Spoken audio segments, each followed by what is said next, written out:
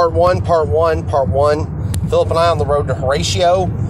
Um, we're actually on headed to Hatfield now, and then we're headed to Horatio. But the the the, the smooth drive. There you go. Now, coaching has changed a lot over the years. I mean, the, the, the, the world of coaching today Mm-hmm. in, in high school is just is not what it was 30 years ago. And it's not like it is in college either. Well, yeah, that's. Because look at your college coaches. Look at what happened to Chad Morris and Willie Taggart Right. at Arkansas and Florida State. They both got shoved out the door after only two years. Right, Not enough time to build a program. right. I still think Morris got the short end of the stick, but Morris didn't do himself any fa- No, favors no, either. No, no, he didn't. He did not. But no, there's, I mean, a lot of programs, your really high profile programs. I mean, you know, your Alabama's not saying say that Nick Saban's not practically enshrined there, but He's pretty close to it. pretty close to it. And some of your other programs, I mean, there's there's programs where your your alumni, your your supporters, if you are not in contention for a national title every year, you're going to get fired. USC. Yeah, USC. Enough Excellent- said. Excellent. Clay. Helton Excellent example. got ran out of town on the rail first chance he had. Yeah, yeah. I mean, that's and that's just. I mean, the the money is unbelievably good in those. places. Oh, yeah. But I mean, you're going to be you're going to be in the pressure cooker every year. You're in the fishbowl the minute you walk on campus. Yeah, yeah, without a doubt. Notre Dame. Notre Dame's Yeah, another good yeah, one. yeah, another another good one. I mean, yeah, Lou Holtz. Uh, uh, Won a national was- championship. Yeah, It was a hero and ran out of steam. Well, and well, I mean, he was under pressure not to beat uh, Knute Rockne's win record. Yeah.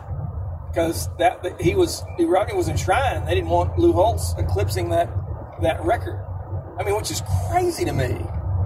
Brian Crazy. Kelly ended up doing it, and then he ran off to LSU. Yeah. Which that and that I still don't get why he took that. I guess No, I, I was that was a step down. I mean, I, I, my opinion. I mean, My thing nothing is- against you LSU fans. I'm just saying. I think he knew he was never going to win the national championship in Notre Dame.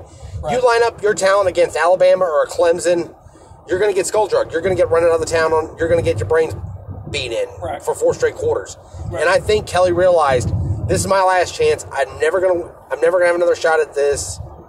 Let's take. Let's go to LSU. Let's take any. Les Miles won a national title there. Ed Orgeron won a national title there. Nick Saban won a national title there. Right.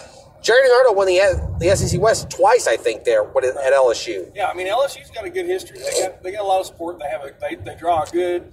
You got the talent base in Louisiana. You keep most of those kids home. You get a handful of kids in Texas, pluck a couple kids from like Florida or Alabama or Georgia or Mississippi or something like that.